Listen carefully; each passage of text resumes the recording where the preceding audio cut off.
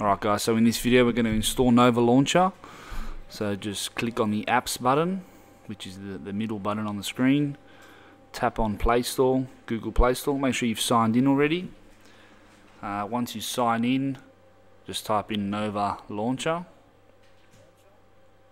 Now we've already uh, downloaded this before and installed it, so you'll just click the install button. Once you've installed it, click open. Once it opens, it'll bring up a whole new user interface for you. Um, you might need to set that up yourself, just press next a few times. But yeah, once it's installed, you can now drag icons wherever you want. You can set up shortcuts in different locations on the home screen. Um, just like that. And that's Nova Launcher. Very easy to use. Uh, just a downloadable user interface. That's it. Thanks guys.